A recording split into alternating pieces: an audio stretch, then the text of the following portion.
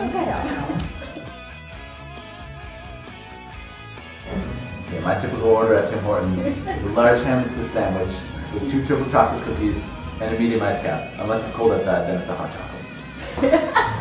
Uh, I get a small half coffee, half French vanilla.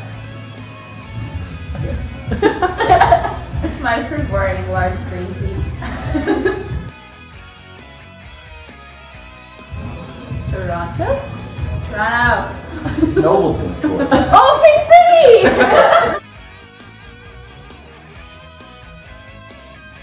I've been to all provinces and zero territories, unfortunately.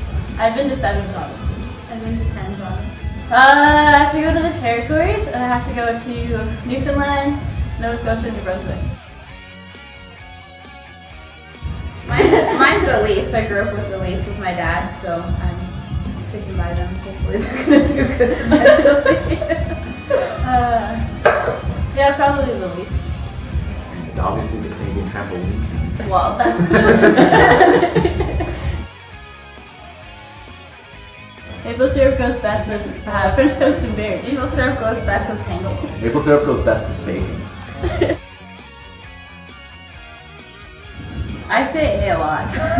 I say A probably every other sentence. Really, eh?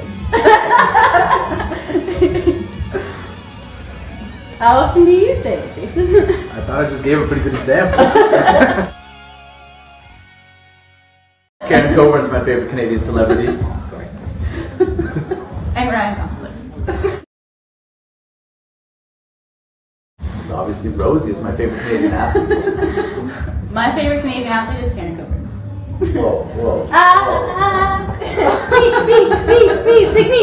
I like all Canadian athletes. No, I hate him. we don't listen to Justin Bieber. No.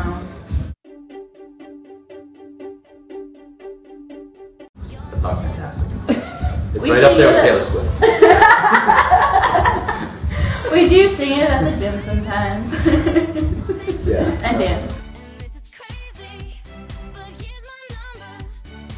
Unless you're saying call me baby because That was one time! I choose Beaver every time.